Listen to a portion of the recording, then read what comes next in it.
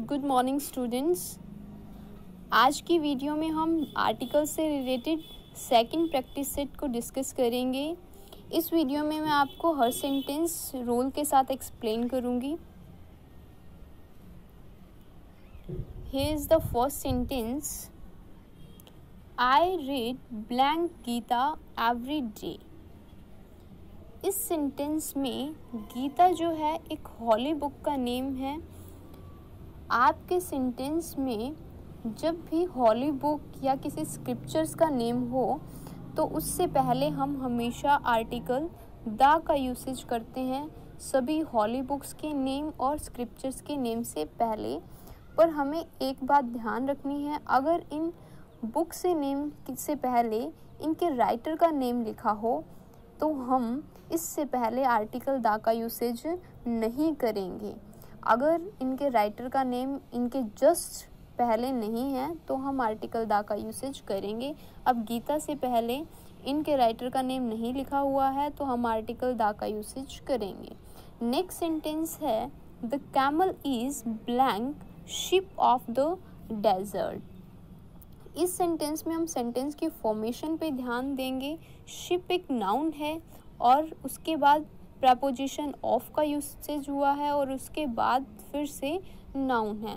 इस तरह की सेंटेंस फॉर्मेशन जब ब्लैंक के बाद नाउन नाउन के बाद प्रपोजिशन ऑफ़ और उसके बाद फिर से नाउन आए तो हम ब्लैंक में द आर्टिकल का यूज़ करेंगे, जो हमारा फ़र्स्ट नाउन है, उससे पहले आर्टिकल द का यूसेज होगा। Next sentence the higher you go blank cooler it is ये सेंटेंस की फॉर्मेशन भी आपको ध्यान रखनी है। ये कंपैरेटिव टाइप ऑफ़ सेंटेंस है।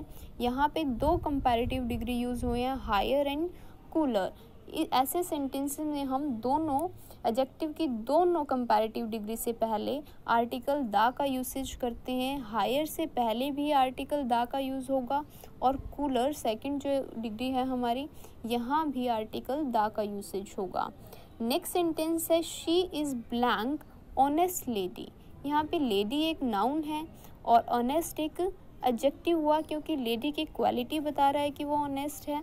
तो हमने पिछली वीडियो में भी ये रूल डिस्कस किया था कि ब्लैंक के बाद एडजेक्टिव और एडजेक्टिव के साथ नाउन है तो हम वहाँ पे आर्टिकल ए या एन का यूसेज करते हैं according to the initial sound honest का जो इनिशियल साउंड है वो ओ का है और ओ एक स्वर है, इसलिए हम यहाँ पे आर्टिकल एन का यूसेज करेंगे। She is an honest lady पर हम एक बात का ध्यान रखेंगे। अगर यहाँ पे लेडी वर्ड ना होता ब्लैंक के बाद एजेक्टिव है, पर एजेक्टिव के साथ नाउन नहीं है तो हम यहाँ पे किसी भी आर्टिकल का यूज़ नहीं करेंगे। नो आर्टिकल इज़ नीडेड अगर यहाँ पे नाउन है, ये लेडी है तो हम आर्टिकल एन का यूसेज करेंगे। Next sentence blank moon is a satellite of earth moon से पहले आप आर्टिकल दा का यूसेज करोगे, क्योंकि जितने भी यूनिक थिंग्स हैं हमारे वर्ल्ड में, जो चीज़ें एक हैं, उनसे पहले हम आर्टिकल दा का यूसेज करते हैं। इसी तरह से यहाँ पे अर्थ से पहले दा का यूसेज किया गया है। Next sentence bananas are sold by blank dozen जब कभी हम किसी भी चीज़ की बात कर रहे हैं, किसी थिंग की बात कर रहे हैं, और हम बता रहे हैं कि उसको किसमें मेज़र हम करते हैं मीटर में मेज़र कर रहे हैं, जैसे लेंथ है लेंथ कपड़े की लेंथ है, उसको हम मीटर में मेज़र करते हैं, और शुगर है, उसको हम बाई के जी वे करते हैं। तो उसी तरह से क्या है यहाँ पे बनाना की बात हो रही है? बनाना को हम डजन्स में सेल करते हैं। इसलिए यहाँ पे बाय द डज़न का यूज़ होगा। ध्यान रखेंगे ऐसे सिचुएशन में जो हमारी क्वांटिटी है, जिस मेज़रमेंट यूनिट का हम यूज़ कर रहे हैं, उससे पहले हम आर्टिकल दा का यूसेज करेंगे। नेक्स्ट सेंटेंस है, Ludhiana is blank Manchester of India ये सेम लास्ट में हमने जो सेंटेंस किया था, वही सेम फॉर्मेशन है सेकंड सेंटेंस वाली। मिनचेस्टर एक नाउन है, एक प्लेस का नाम है। उसके बाद प्रपोजिशन ऑफ़ और इंडिया फिर से नाउन तो हमने पढ़ा था कि ऐसे सेंटेंस की फॉर्मेशन में हम आर्टिकल दा का यूसेज करते हैं, the Manchester of India next sentence है mangoes are sold by blank kilo same six sentence की तरह है। यहाँ पे हम बता रहे हैं कि मैंगो को हम कैसे सेल करते हैं, उसको हम किलो के हिसाब से बेचते हैं। तो यहाँ पे बाय द किलो। नेक्स्ट है blank principal is on leave यहाँ पे भी हम आर्टिकल द का यूसेज करेंगे। क्यों? क्योंकि जिस टाइम हम बात कर रहे हैं, वहाँ पे एक ही प्रिंसिपल की हम बात कर रहे हैं। बात करते टाइम अगर उस टाइम पे वो नाउन एक ही हो, ठीक है? अब प्रिंसिपल क्या है? एक टाइम पे एक ही होता है। तो यहाँ पे हम क्या है? आर्टिकल दा का यूसेज करेंगे। नेक्स्ट सेंटेंस है milk is sold at rupees blank kilo यहाँ पे हम कहना चाह रहे हैं कि दूध जो है, वो आठ रुपये पर किलो है। वैसे दूध को हम लीटर के लीटर में मेज़र करते हैं। तो यहाँ पे हमने किलो में लिया है, कोई बात नहीं। तो यहाँ पे पर की सेंस बनती है। आठ रुपये पर किलो, ठीक है? तो यहाँ पे पर की सेंस जब भी सेंटेंस में पर की सेंस हो ऑन प्रपोजिशन की सेंस हो या फिर एनी डिटरमाइनर की सेंस हो तो ऐसे सेंटेंस में हम पर की जगह एनी की जगह ऑन प्रपोजिशन की जगह आर्टिकल ए या एन का यूसेज करते हैं।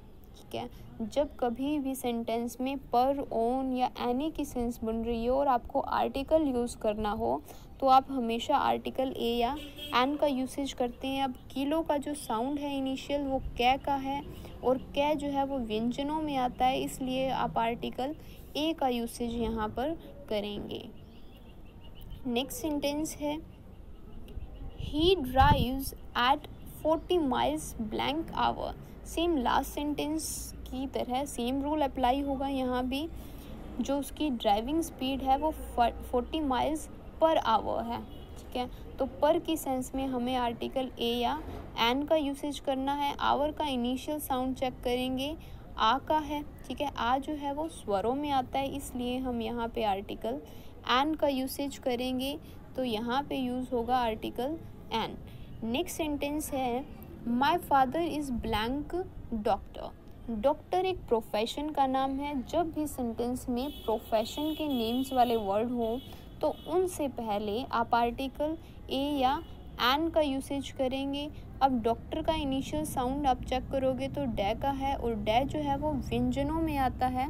इसलिए यहाँ पे आप डॉक्टर से पहले ए आर्टिकल का यूसेज करेंगे ए डॉक्टर नेक्स्ट सेंटेंस है he grew up to be blank politician अब पॉलिटिशियन होना ये भी एक प्रोफेशन की बात है तो यहाँ भी हमें आर्टिकल ए या एन का यूसेज करना है. पॉलिटिशियन का इनिशियल साउंड पै का है तो पै व्यंजनों में आता है. यहाँ पे आप आर्टिकल ए का यूसेज करेंगे. Next sentence blank mister Mehta came to see you when you were away भी कोई मिस्टर मेहता आए थे जब तुम दूर थे? भी तुम्हें मिलने कोई मिस्टर मेहता आया था जब तुम गए हुए थे? अब यहाँ पे जो मिस्टर मेहता है, वो अननोन है। नहीं पता कि कौन। हमें जिस पता है कि उसका नाम मिस्टर मेहता है। वो पर्सन हमारे लिए अननोन है। जब पर्सन अननोन हो स्ट्रेंजर हो हमारे लिए, हम किसी स्ट्रेंजर की बात कर रहे हो, हम ये कहना चाह रहे हैं कि कोई मिस्टर मेहता आया था तो वहाँ पे आर्टिकल ए या एन का यूसेज आप करते हैं। मिस्टर मेहता, एम का इनिशियल साउंड है। म का, मिस्टर मेहता, म का इनिशियल साउंड है। आप आर्टिकल ए का यूसेज करेंगे। नेक्स्ट सेंटेंस है the box was made of wood wood जो है, एक मटेरियल नाउन है और मटेरियल नाउन से पहले कोई भी आर्टिकल यूज़ नहीं होता। सिर्फ़ एक केस में जो मटेरियल नाउन को स्पेसिफिक बनाया जाए।